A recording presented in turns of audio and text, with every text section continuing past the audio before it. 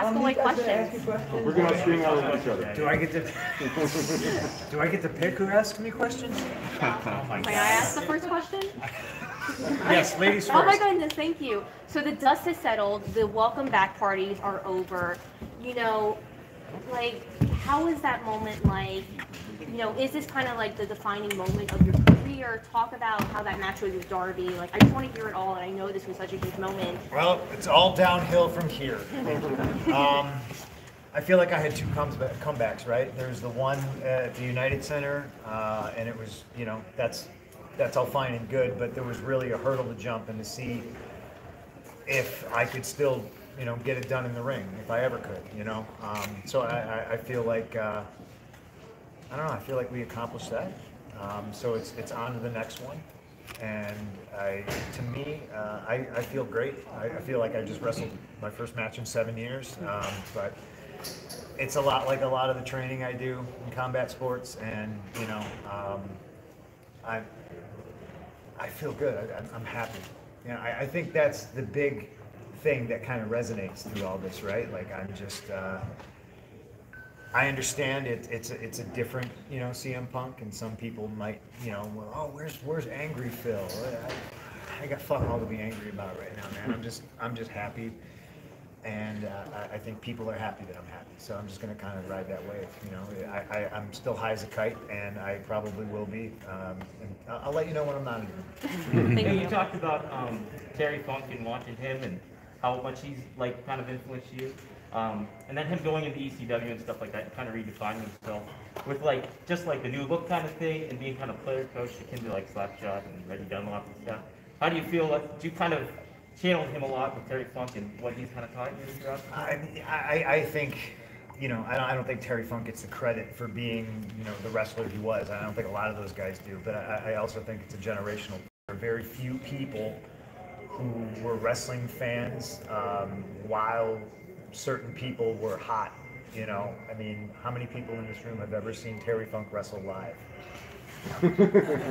Okay, so there's a few of you, but how many saw him wrestle live when he was Terry Funk? I'm talking like NWA. I know, I know, you, I know you. You're really dating yourself, but you know, and, and I, I think there's a lot of people out there that you know don't think I'm shit, and I think that makes my job a lot easier going forward because uh, you know I, I know who I know who I am, and it's fun to be able to remind people.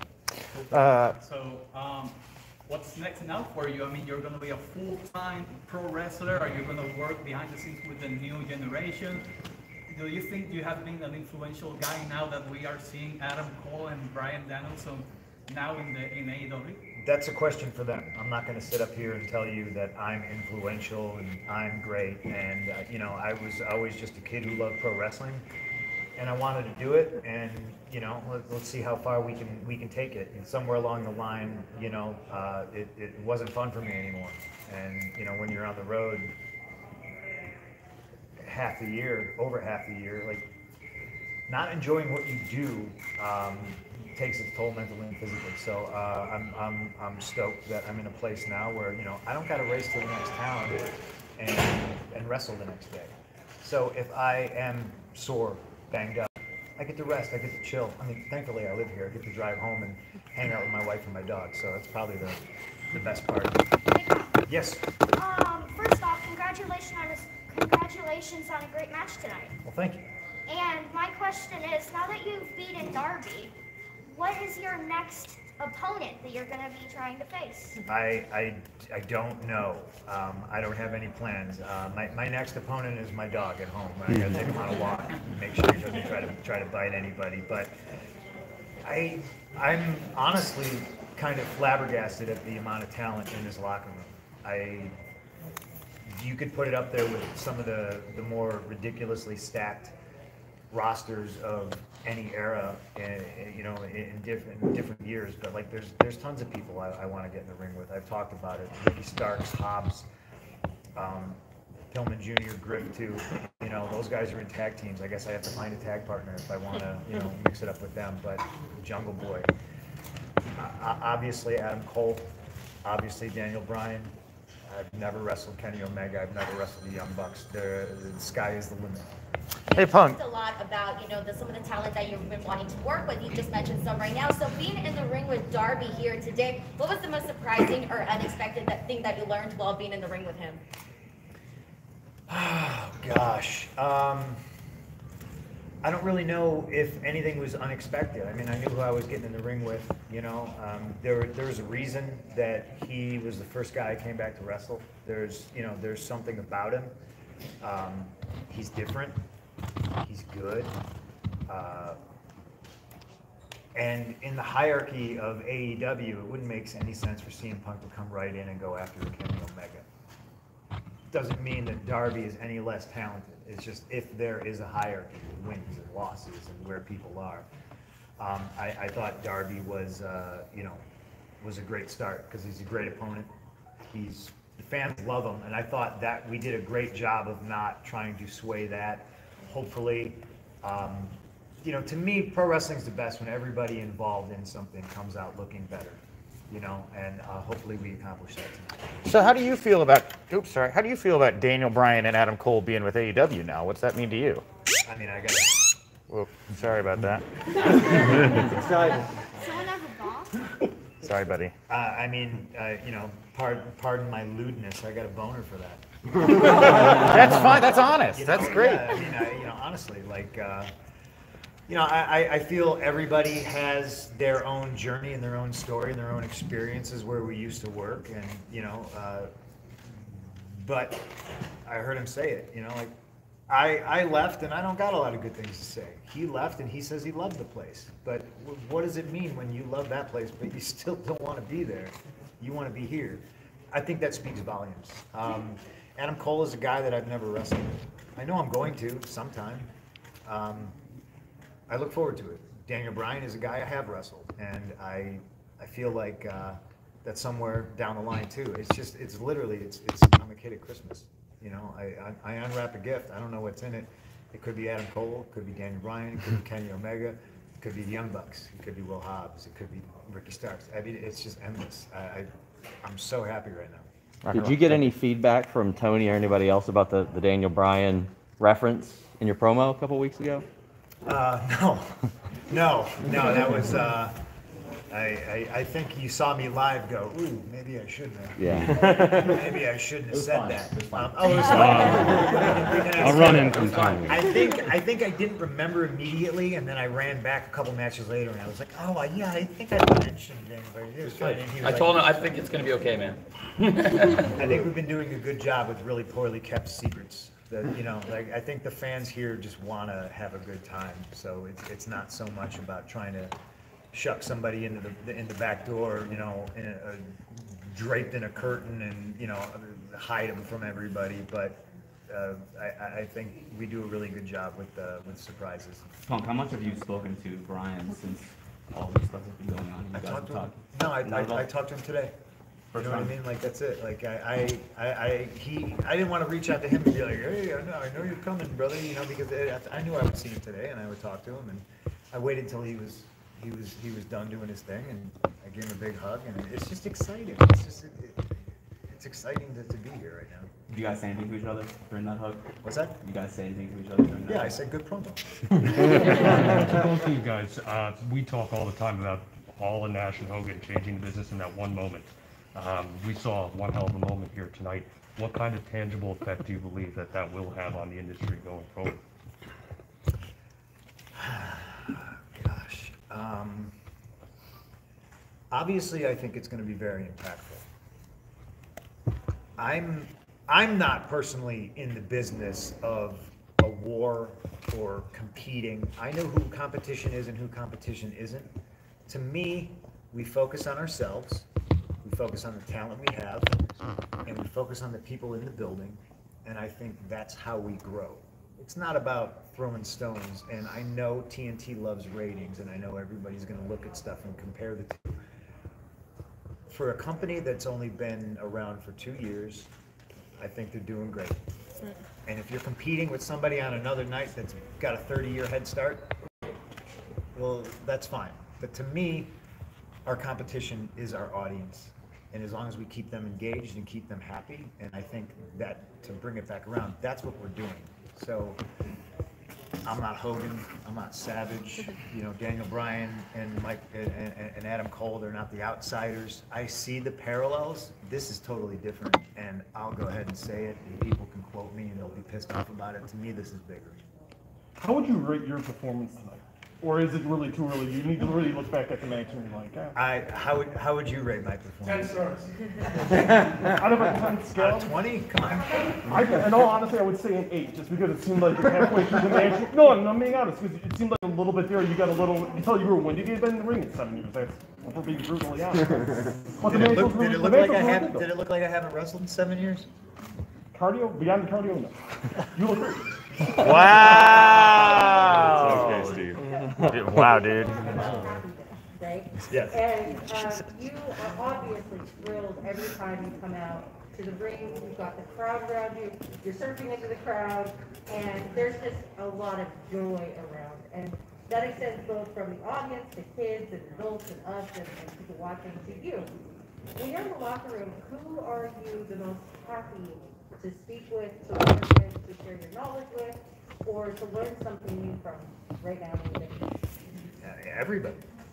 You know, I mean, Sting came up to me today, and you know, I, I don't think these guys are lying. But Sting was just like, you know, it reminded me. Your match with Darby reminded me what Flair did for me. You know, when I when I went 45 minutes with him with, with Greensboro.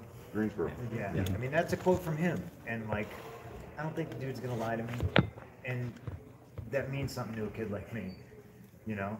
Um, Sting and I put together our, our segment from Dynamite the other day, and it was just refreshing to have him be like, well, no, what do you think? And I was like, no, what do you think? And we went, you know, we did the respectful thing, and then we came together, and, and I thought, grew our ideas together and made a pretty good segment. And I, I so I'm learning from Sting, which is wild.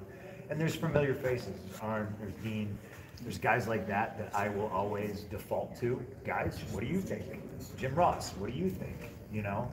Um, but I do see younger guys defaulting to me, and you know, I, I, I- I do think that is a, you know, a lot of people will tell you that, oh, I love the business, but you know, you gotta get back to the business and this and this. I just think it happens organically. If somebody, I'm, I'm here to help somebody if they want the help, um, but I'm also still learning. There was a point where I was like, I, I, I'm not, I'm not learning anything. This isn't any fun. And that's when you know you gotta get out. And now I'm, I'm, I'm back and I'm around creative people that are happy to come to work and it's, it's, it's a fun, great learning environment. Punk is. Tony, Tony, can you believe that you did this? Because you're, you're every one of us, right? Only you have money. I'm not, a, I'm not, a, I'm not a, I'm not a White Sox fan. That's right. That's true. Uh, Tony, I can't, can you believe you pulled this off? Like, you changed the industry. I didn't, it wasn't, it was everyone. I mean, it was a group of great people and especially the fans. I mean, it wouldn't have been possible without all of you, all the great wrestling fans, that everyone made it possible. But no one, when you look around, you're from this area, when you look around at what this is, I mean, do you ever just like smell the roses? You're, no one else could have done what you did. I, do- I don't know You're if that's true. fan who had the means to do this. Nobody else, nobody else could have said Nobody it. else could have done That- So that is, that is. That is- So then I guess it is. That is legit. It's official. Thank you very much. Thanks. Thank you, Mr. Well, Punk. Tony, how are you feeling right now? I've never felt better in my entire life. It's the greatest feeling in my entire life. I've never felt better. I, I can't believe we pulled it off, and this has been a long time. Like Mr. Punk said, it's been almost two years in the making, so it's uh, it's pretty special. And uh, thank you very much. Thank you. You're welcome. Thank Tony, you. the, Tony, the word we're all hearing on social media this, uh, tonight is perfection. And I wanna know what you think now that you feel, do you feel like you planned Mount Everest tonight? Because this was a, uh, an amazing, an amazing show in front of a hot crowd that could not have been happier walking out. Is there a letdown for a creative guy like yourself after? It always feels like, I mean, if you plan something and it comes off exactly like you wanted it to come off, which is great, and it, it's great, then that's the best feeling in the world. I've worked in sports a long time and I've had some great moments in sports. And I, you know, playoff wins, play, winning, beating the Steelers in Pittsburgh in the playoffs, And, and you know, this this is one of the best feelings that, in the world. I can't compare it to anything, and it came off perfectly. It is whatever the opposite of a letdown is. This is the opposite of a letdown. Thank you. Last, Punk- last, Punk- sorry, last, last question. and then we're gonna- Can I ask the last question? Well, last question, I would use it for. Don't ask me. Ask, ask use it for Punk because. Tony, can I ask the last question really quick? Yeah, but ask him because I'm staying. She already asked me a oh, question. Oh, then it's somebody else. Then ask two- it. I- Two more. I got a- Give Punk two more I got a questions. question. Two, two real quick questions. Okay, number one, is that what was the day or Dick frame where you flipped the switch where you decided, I'm gonna come? I, I don't know, I, I would have to, there, there for sure was a day, but I, I, I'd have to think back on that. But around one, you know, like, You know, I mean, they were in the middle of the pandemic. Uh, I've already said it that um, the the locker room and the situation with Brodie Lee's uh, passing, I think, made me really go, oh, that's. I mean, that's different.